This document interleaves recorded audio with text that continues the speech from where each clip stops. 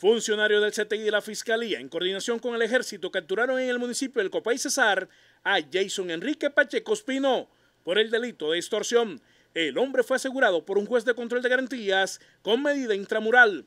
Los hechos por los que es investigado Pacheco Espino ocurrieron en el municipio de Estrella Cesar en julio del 2018. El hoy procesado fue denunciado porque desde hace un año, a pocos días de que asesinaran al hermano de la víctima, comenzó a recibir llamadas en las que le decían que si no pagaba una deuda que dejó su hermano, también lo asesinarían. Ante el temor que estas llamadas le ocasionaron, la víctima decidió denunciar y por estos hechos una persona fue capturada en flagrancia cuando iba a recibir el dinero producto de la extorsión. Al parecer, Pacheco Espino hace parte de la organización criminal Los Arjoneros.